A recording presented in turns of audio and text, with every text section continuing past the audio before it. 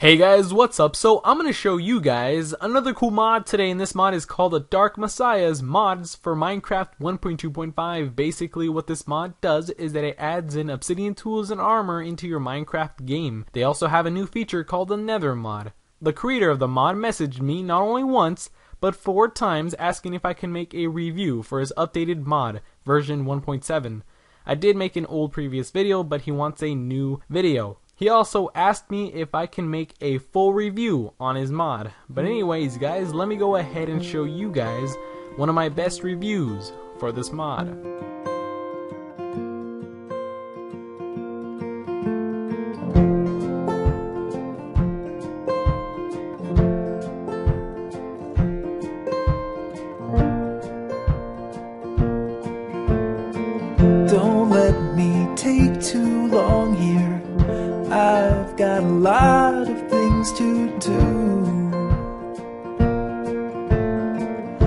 These days are passing by me.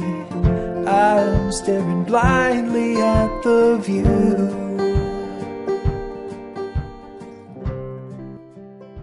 When mining for obsidian, there isn't much you can do, right? All you can basically do with the obsidian is make a nether portal. Now with the Dark Messiahs mod, you can use the obsidian to craft yourself new tools and armor. But before we start crafting, we need to gather up ourselves some obsidian. Once we have enough obsidian, we can craft ourselves an obsidian ingot.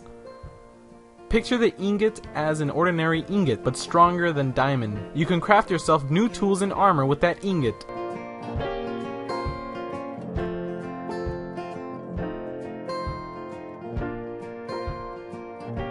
The obsidian pickaxe can mine through obsidian like it's nothing.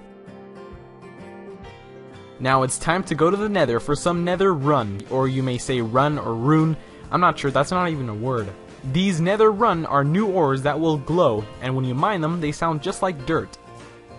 Once mined, three nether run gems will drop. With those gems, you can craft yourself new tools and armor, but when fighting with the nether run sword, mobs will catch on fire. When pigs and chickens and cows catch on fire, and when they die off, their droppings will be cooked. That's pretty cool. Now, if you have yourself a shovel, axe, or pickaxe, you can actually craft yourself a multi-tool, which combines all three together. Crafting is simple, but you need to craft them in this exact order.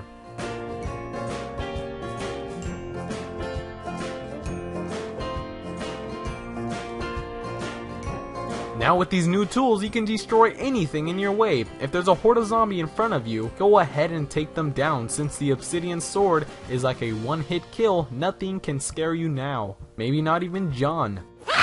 When you're done killing all the zombies in your way, make sure that you collect all of the rotten flesh.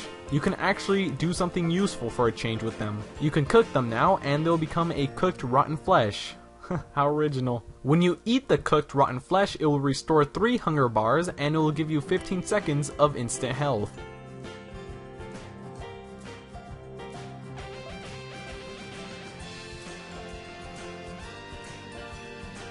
There is also new achievements that you could achieve when you are playing Minecraft, from crafting yourself an obsidian ingot or crafting yourself an obsidian axe. But for some odd reason, I can't really achieve these. I've already tried many times and yet I can't achieve one of these. I've already crafted myself an obsidian ingot and yet the achievement didn't work.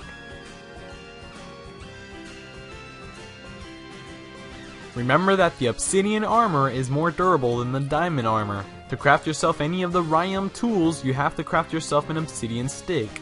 To craft yourself an obsidian stick, all you need is some obsidian ingots. Just like crafting any ordinary stick, you just place one on the bottom and top, and there you go, you'll get yourself a set of two sticks. You place a stick in the bottom, and there you go, now you can craft yourself any of the Ryam tools.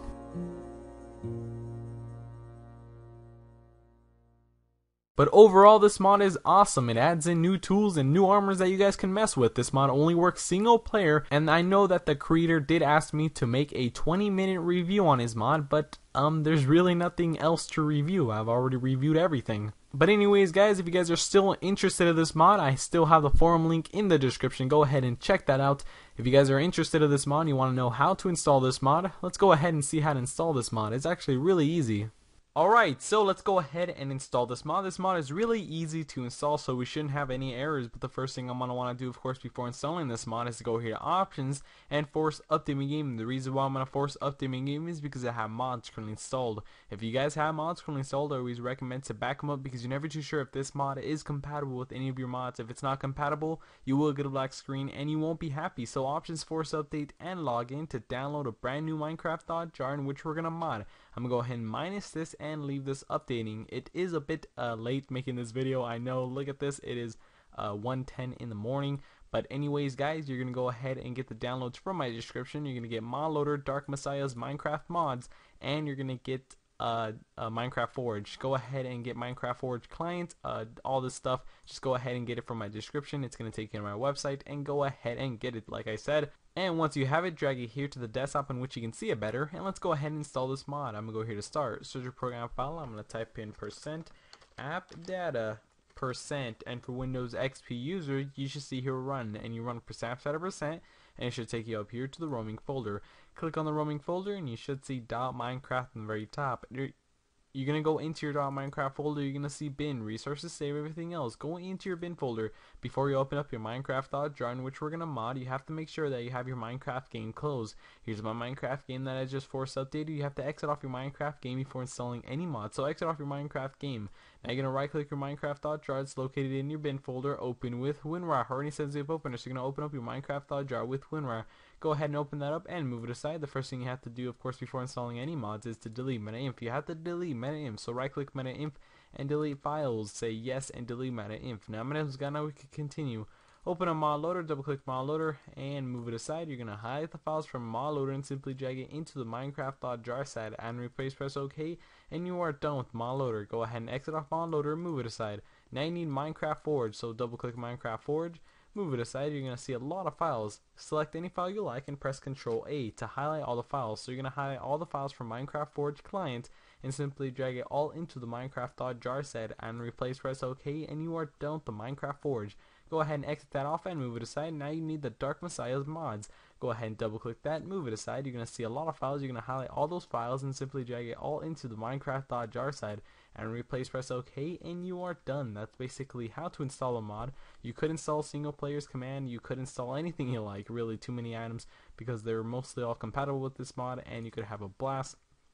Uh, most of the items do show up in creative so you could have a blast with that. Let me go ahead and show you and uh, there you go so that's basically it uh, this mod adds in you know uh, obsidian tools and armors and all that good stuff so you could be having a blast and maybe maybe in the update uh, there will be uh, multiplayer features I'm never too sure because uh, there is forge compatibility so maybe he can get it working for a uh, Forge server. So anyways guys, hopefully you guys will enjoy this mod. This mod is really awesome. Why am I destroying this ship you may ask? I don't know why. Anyways, I'm to go ahead and catch you guys later. Thank you guys for all your support, all your likes, favorites, comments, and all that other good stuff. I'm to go ahead and catch you guys later. Thank you. Lost chances, sideways glances, I will let them be I will let them pass me by and nothing ventured, nothing gained.